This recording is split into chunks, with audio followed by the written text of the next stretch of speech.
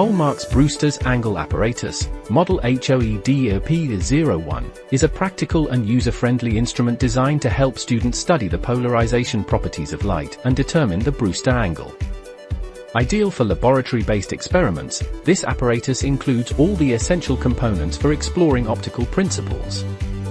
It features a diode laser with a 3 mW output and a 650 nanometer wavelength, a kinematic laser mount for easy alignment, and a linear film polarizer with 2 degrees per division accuracy for precise control of the light's polarization.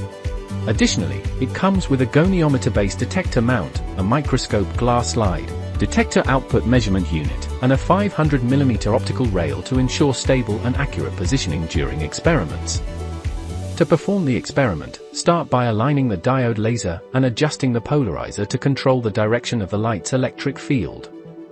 Direct the laser beam through the polarizer and onto the microscope glass slide.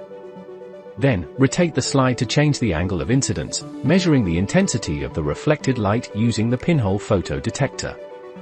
As you rotate the slide, you'll notice the intensity of the reflected light decreases and reaches a minimum at the Brewster angle.